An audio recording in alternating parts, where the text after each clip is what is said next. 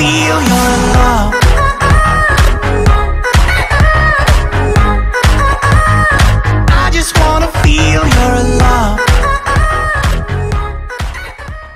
Okay, Assalamualaikum warahmatullahi taala wabarakatuh. Bertemu kembali dalam Advanced Corporate Finance. So, hari ni kita nak masuk chapter 6. So, saya kena cakap laju sikit sebabnya uh, chapter ni agak panjang sedikit lah. Hmm. Okay, so ni adalah sambungan daripada chapter 6, uh, sorry chapter 5 uh, yang mana still lagi kita dalam cash flow determination lah. So hari ni fokus kita adalah berkenaan dengan cash flow tu sendiri. Sebelum ni kita dah tengok berkenaan dengan uh, depreciation and taxation right, cukai dengan susut nilai. Okay, so hari ni uh, kita akan go uh, deeply lah, uh, lebih dalam eh berkenaan dengan cash flow. Okay, so uh, berkenaan dengan cash flow, cash flow ni kita ada tiga jenis cash flow dalam sesebuah syarikat. Kita ada beberapa projek lah. So each project tu dia akan ada tiga jenis cash flow tersebut. Alright, so yang pertama adalah initial outlay ataupun setengah orang dipanggil initial investment. Yang kedua annual cash flow ataupun operating cash flow and then yang ketiga adalah terminal cash flow. Alright, terminal cash flow. Okay, uh, so kita akan go one by one eh.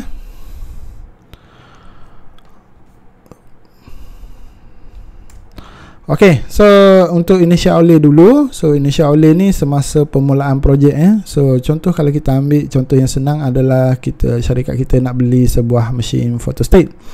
Right, so kalau kita nak beli mesin photostat tu kita consider dia sebagai sebuah projek lah. So bila sebut projek dia akan ada tiga jenis cash flow.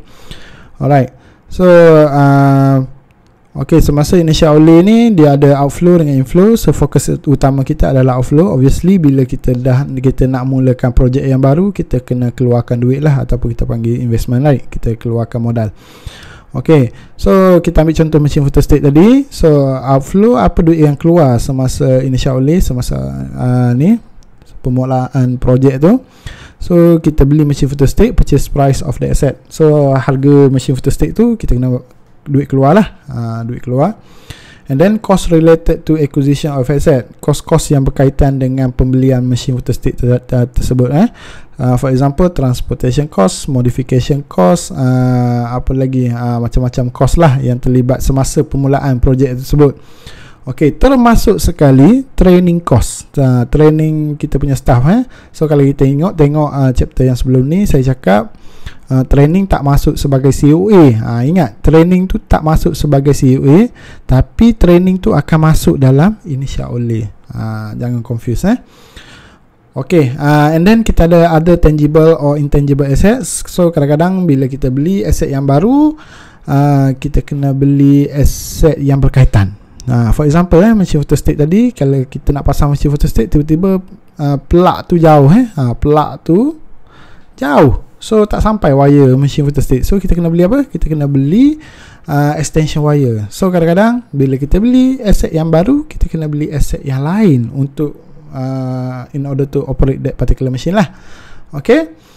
And then uh, yang last kali uh, yang ni special eh yang ni special untuk projek yang kita nak replace eh kita nak tukar daripada mesin photostat lama kepada mesin photostat yang baru. Okay, so bila kita jual mesin photostat yang lama uh, lebih mahal daripada book value kalau kita tengok chapter yang sebelum ni maknanya kalau kita jual lebih daripada book value maknanya kita untung. Bila kita untung kita kena bayar cukai. Right. Okay. Uh, itu outflow eh duit keluar. Duit masuk pula inflow. Yang ni uh, kadang-kadang ada, kadang-kadang tak ada lah. Uh, tapi fokus utama kita ingat kita outflow eh. Tapi ada juga inflow semasa initial outlay.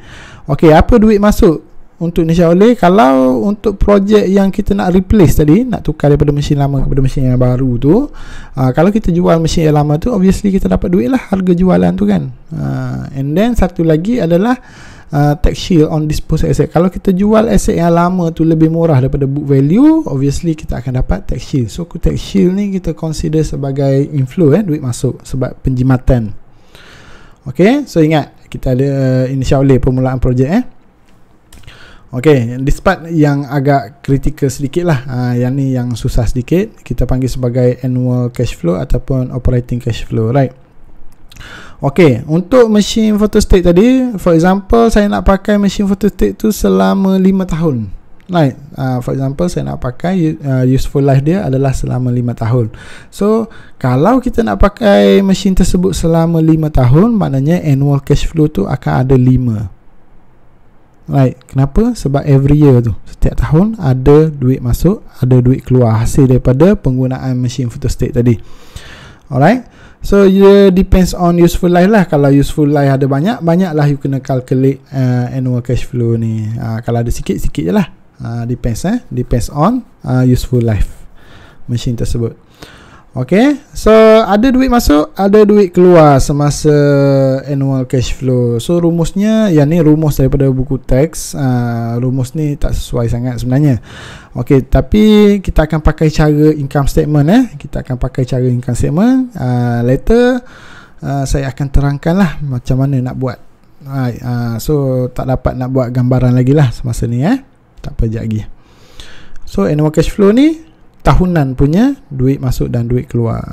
Ok ok and then last kali adalah terminal cash flow. Terminal ni maksud dia penutup lah. Uh, dah kita pakai selama contohnya mesin photostate tu 5 tahun terminal cash flow ni akan berlaku pada tahun yang kelima tahun yang terakhir. Right.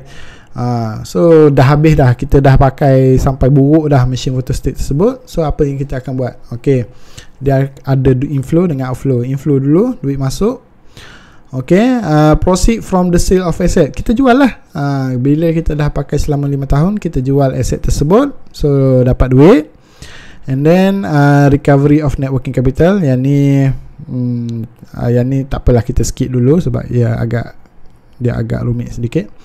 Okay and then uh, Kalau kita jual lebih murah daripada dia punya book value Maknanya kita akan dapat tax shield. Bila tax shield kita consider inflow macam Sama macam initial outlay tadi lah Okay and then outflow duit keluar. Okay cost of disposing asset. So kadang-kadang bila kita dah habis dah pakai mesin tersebut Kita nak buang kan? Ataupun kita nak keluarkan daripada syarikat kita. So bila kita nak keluarkan mesin tersebut daripada syarikat kita Ada certain-certain cost. So for example cost untuk transport lah Angkut keluar. Uh, ataupun kita panggil uh, for example bila dah keluar tu kita kena sewa lori pula. Uh, so kena bayar lagi sewa lori apa. So kos-kos yang berkaitan nak keluarkan mesin tersebut lah and then satu lagi yang paling utama adalah tax liability from the sale of asset. So kalau kita jual mesin tersebut lebih mahal daripada dia punya book value so kita kena bayar cukai lah. Kita untung kena bayar cukai. Alright? So itu adalah inflow dengan outflow semasa terminal cash flow. So ingat kita ada tiga. Uh, yang pertama initial outlay semasa permulaan projek. Yang kedua annual cash flow semasa every year lah. Uh, every year. And then terminal cash flow ni penutup. Dia ada permulaan, dia ada every year and then dia ada penutup. Depends on dia punya useful life. So kalau 5 tahun, so banyak 5 lah. 5 kali kena kira. Okey, cuma untuk initial outlay dengan terminal you kena kira sekali sahaja. Right, kadang-kadang kalau soalan tu senang dia bagi direct je. Ha, direct je soalan eh. Okay, now kita nak tengok example eh. Sorry. Okay, this one is example from past year, uh, December 2019. Uh, latest punya soalan. Okay, so uh, kita akan tengok question 1 ni ha, sebab question 1 ni memang direct dia tanya cash flow Okay, so a project requires uh, saya baca eh a project requires an initial fixed asset investment so dia nak beli satu fixed asset eh uh, for example macam mesin tadilah Okay, so dia uh, kena beli dengan harga 300,000 yang mana mesin tersebut dia akan depreciate uh, menggunakan straight line method selama 3 tahun. So maknanya useful lah dia 3 tahun. And then the after tax value of the fee asset at the end of the project is estimated to be 35,750. So bila dia dah pakai selama 3 tahun, dia expect dia dapat jual mesin tersebut dengan harga 35,750 eh. Ah uh, 35,750. Okay, uh, untuk uh, okay projected sales volume for year 1 2 3 Okay, so sales dia untuk tahun pertama, tahun kedua, tahun ketiga eh. Uh, sales dia dia cakap dalam bentuk unit. Maknanya tahun pertama dia dapat jual 6500 unit. Tahun kedua dia dapat jual 8500 unit. Tahun ketiga dia dapat jual dengan uh, sorry uh, 10200 unit. So dia bagi dalam bentuk unit eh So uh, harga untuk barangan yang dia jual tu uh, RM80 per unit for the first 2 years untuk 2 tahun pertama sahaja. Tahun ketiga macam mana? Tahun ketiga dia cakap reduce by 5% for the following 3 years. Okay, pada tahun yang ketiga dia bagi diskaun 5% daripada RM80. So kena calculate dengan calculator which is uh, uh, 5% daripada RM80 and then RM80 tolak jawapan tersebut so saya kira kat sini dapat lebih kurang uh, berapa eh kejap eh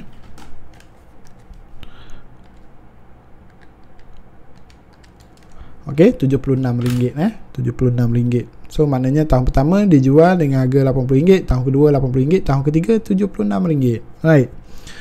Okey, uh, seterusnya uh, 41,500 initial investment in net working capital is required. Uh, maknanya uh, pada permulaan right, pada permulaan iaitu masa dia beli tu initial tu uh, dia kena keluarkan duit untuk net working capital eh. 41,500 ok apa net working capital? Net working capital ni sebenarnya kalau kita tengok uh, dalam financial ratio rumusnya adalah current asset tolak current liabilities. Right So biasanya bila kita beli sesebuah aset yang baru uh, Networking capital kita akan terjejas. So ingat eh kita ada uh, item under current asset Under current liabilities. Under current asset kita ada satu yang paling utama. Kita panggil sebagai inventories. So inventories ni kita punya raw material lah So biasanya bila kita beli mesin yang baru So kita kena spend sama ni untuk kita punya raw material lah. Ha, Beli mesin tak beli raw material tak ada guna lah. So bila beli mesin kena beli raw material. So bila raw material meningkat Dia akan menjejaskan kita punya networking capital. Okay so dia cakap kat sini semasa permulaan Okay semasa permulaan Networking capital dia Dia kena spend sebanyak 41,500 mungkin untuk inventory lah kot. Okay tapi kemudian uh, untuk tahun pertama dia kena spend lagi net working capital sebanyak 47,500 tahun kedua kena spend sebanyak 58,550 tahun ketiga kena spend 67,450 so maknanya every year kena spend duit untuk net working capital.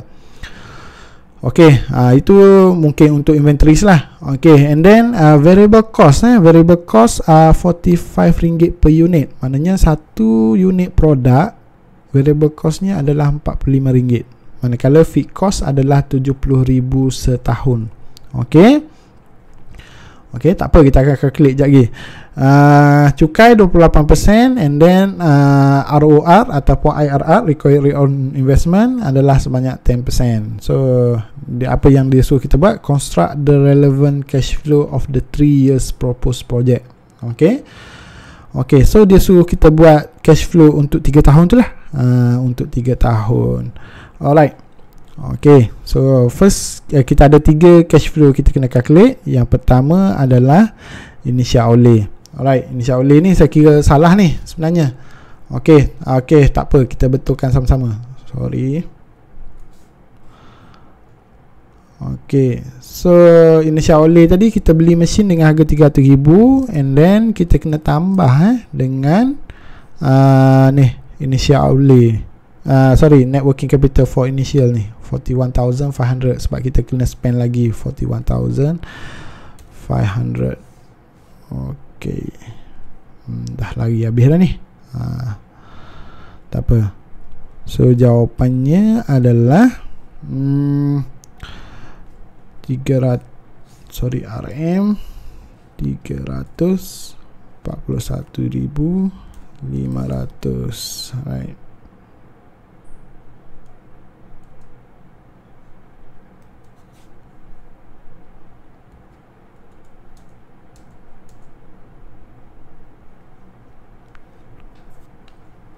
Okay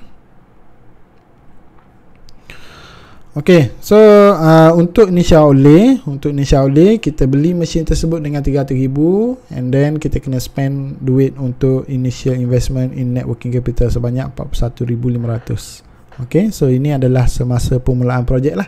So dia tak ada mention cost yang berkaitan lah. Contohnya transportation cost, legal fees, apa modification cost apa semua tak ada. Training cost pun tak ada, dia tak ada bagi tahu dalam soalan. So kita stay dengan dua ni je lah. 300,000 dengan 41,500 So total up it become 341,500 ringgit. Right. Okay. Uh, so uh, before kita nak calculate so initial outlay dah selesai eh. Kita nak masuk yang kedua, kita nak kira annual cash flow. So sebelum kita kira annual cash flow ada certain certain things kita kena calculate dahulu sebelum kita dapatkan uh, kita calculate lah. Okay, first thing adalah depreciation. So depreciation tadi dia bagi tahu based on straight line method. So kita dah belajar sebelum ni straight line method macam mana nak calculate dia punya annual depreciation. So this this one is annual depreciation eh. So rumus hari tu saya dah bagi tahu COA minus salvage value and then divided by useful life. Right, COA untuk that particular machine adalah 300,000 and then minus dengan kosong. Kenapa salvage value dia kosong? Sebabnya dalam soalan ni dia cakap basis to zero value over 3 years life maknanya zero value kat sini ni maksudnya dia punya salvage value adalah kosong alright? And then divided by 3 kenapa 3 sebab dia nak pakai mesin tersebut selama 3 tahun. Useful life tadi dia bagi tahu 3 tahun. So 300,000 bahagi 3 ha, boleh tak? Ya kira pakai calculator pun tak apa ni. Kita dapat dah 100,000 per year eh? 100,000 per year. Ok itu adalah dia punya depreciation. Okay, uh, and then kita kena klik sales eh, sales jualan eh. Jualan ni maksud dia uh, uh, kita punya revenue ataupun senang calculate-nya adalah kita panggil PQ. Price darab dengan quantity. Tak apalah quantity darab price, price darab quantity sama je lah. Okay. So dia bagi tahu tadi untuk tahun pertama dia dapat jual 6500 unit dengan harga RM80 seunit. So kalau kita kali dua ni dapat 520,000. Ini adalah sales untuk tahun pertama eh. P darab dengan Q. Sales untuk da- tahun yang kedua 8,500 unit darab dengan RM80 per unit. So dapat sales sebanyak 680,000 and then for year 3 10,200 unit times 76 eh. Kenapa 76? Sebabnya kita bagi diskaun sebanyak 5%. Ha, tolak RM4 tolak RM4 dapat 76 ok so it becomes 775,000 ringgit alright so ini adalah sales untuk 3 tahun tu. Ha, 3 tahun je lah sebabnya useful life kita tadi 3 je. 3 tahun je. Ok tadi dia bagi tahu variable cost per unit adalah RM45 ringgit. Ha, variable cost per unit eh. Ha, and then dia bagi tahu fixed cost sebanyak RM70,000 ringgit ok cukai 25% Okay, so next kita kena calculate total variable cost. Ha, Sebab dia bagi variable cost RM45 ni per unit eh. Kita jual tahun yang pertama berapa unit? 6,500 So 6,500 kali dengan RM45 Total variable cost adalah RM292,000 untuk tahun yang kedua kita jual 8500 unit kali dengan 45 dapat 328000 manakala untuk tahun yang ketiga total variable cost 10200 unit kali dengan 45 dapat 459000. Ah ha, this thing you kena calculate dululah sebelum kita nak plug in dalam kita punya uh, income statement nanti. Okay, uh, next. Okay, this one. Uh, this one adalah uh, kita punya cash flow lah uh, cash flow annual cash flow untuk tahun pertama, tahun kedua dan tahun ketiga. Okey, kita gunakan teknik income statement eh dia seolah-olah macam income statement. So kalau kita tengok income statement sales tolak cost of goods sold dapat gross profit tolak dengan expenses tolak depreciation uh, dapat EBIT tolak interest dapat EBT tolak tax dapat EAT and then uh, macam tu lah. Okay? So first kali kita start dengan sales lah. Uh, Income statement kan? Sales. So sales tadi kita dah calculate dah. Sorry. Mana tadi? Okay ha, This one. 520,000 tahun pertama 680,000 tahun kedua Tahun ketiga 775,000 Alright? Okay masuk. 520 680 775 200 Right. Uh, Sales year 1 Year 2 Year 3 Okay, and then net working capital. Uh, so kita kena tolak eh net working capital sebab kita spend untuk inventories, right? Uh, kita spend for inventory. So dia seolah-olah net working capital ni sebenarnya adalah kita punya cost of goods sold, uh, cost of goods sold. Okay, COGS eh. So tahun pertama 47,500 uh, dari mana datangnya uh, kat sini eh. Uh, sebab dia bagi tahu with additional net working capital for year 1 to 3 at 47,500 untuk tahun pertama 58,550 untuk tahun kedua 67,450 untuk tahun yang ketiga so plug in je 47500 58550 67450 okey Uh, next kita kena tolak apa? Expenses. Uh, expenses kita total variable cost. Uh, total variable cost kita dah klik tadi. Uh, masuk je year 1, year 2, year 3. Uh, penat dah nak cerita panjang-panjang. Okay. So masuk. Okay. Manakala tolak dengan manakala seterusnya kita tolak dengan fixed cost. Uh, fixed cost pun kita dah ada tadi. Saya dah highlight lah 70,000. 70,000 ni setiap tahun eh sebab dalam soalan dia bagi tahu 70,000 per year setiap tahun. So, automatically dalam ni dia akan masuk lah 70,000, 70,000, 70,000. Alright.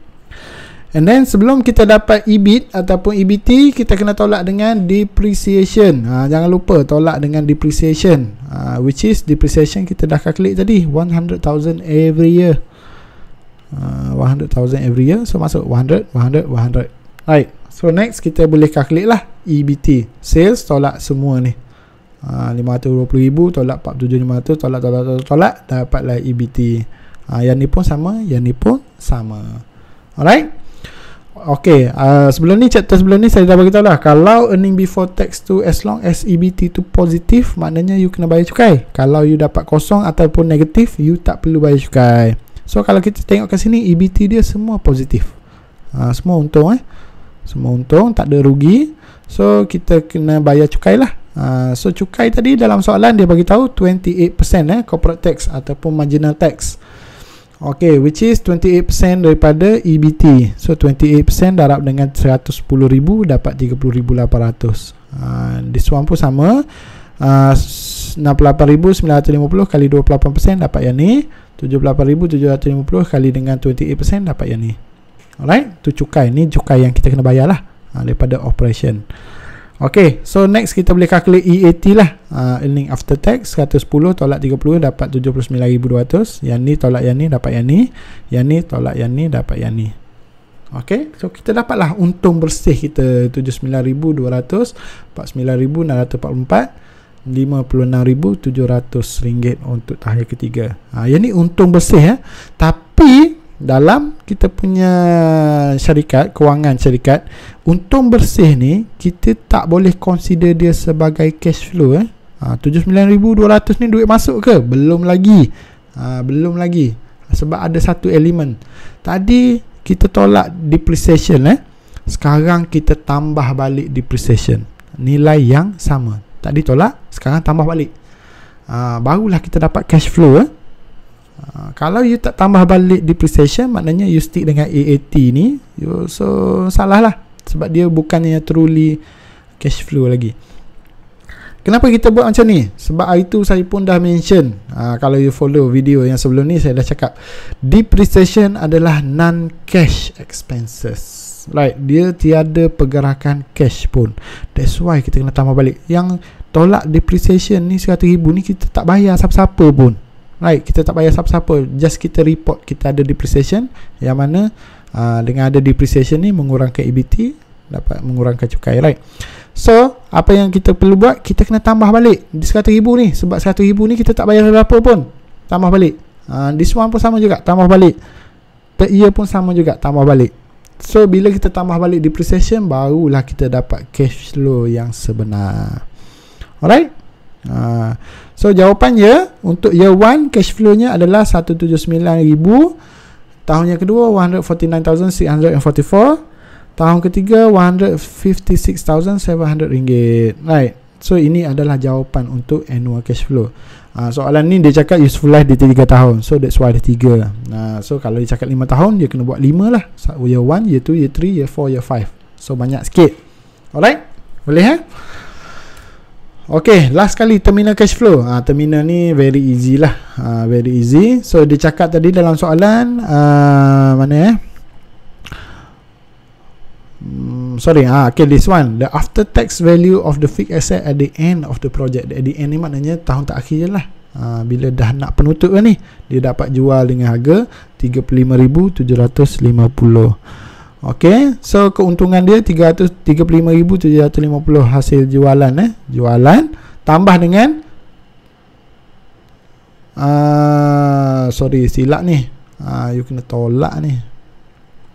Okey, this one is inflow tolak eh so kita betulkan sekarang eh uh, macam inilah buat kerja cepat-cepat kan uh, ok uh, ok ok 35,750 tolak dengan cukai yang perlu dibayar sebabnya kita jual mesin tersebut untung eh 35,750 ni untung so untung kena bayar cukai lagi So terminal cash flow kita dapat duit eh duit masuk ni. Ha, sebab jawapan dia positif eh kalau negatif maknanya duit keluar. Okey 27740. Alright. Boleh eh? So ini adalah terminal penutup kepada uh, so uh, kita recap balik hasil daripada soalan ni. So untuk initial kita dapat RM341,500. Untuk annual cash flow kita dapat tahun pertama 179,000 tahun kedua 149,000 dan atau 44 tahun ketiga kita dapat duit lagi sebanyak 156,700 and then tahun yang terakhir juga kita akan dapat terminal cash flow eh sebanyak 27,740 ringgit ok so itu sahaja daripada saya Uh, ingat eh kita ada cash flow ni dia agak rumit sedikit. So kita nanti saya akan bagi assignment lah untuk you all jawab. Right. So wabillahi taufiq wa hidayah. Assalamualaikum warahmatullahi taala wabarakatuh. Peace out.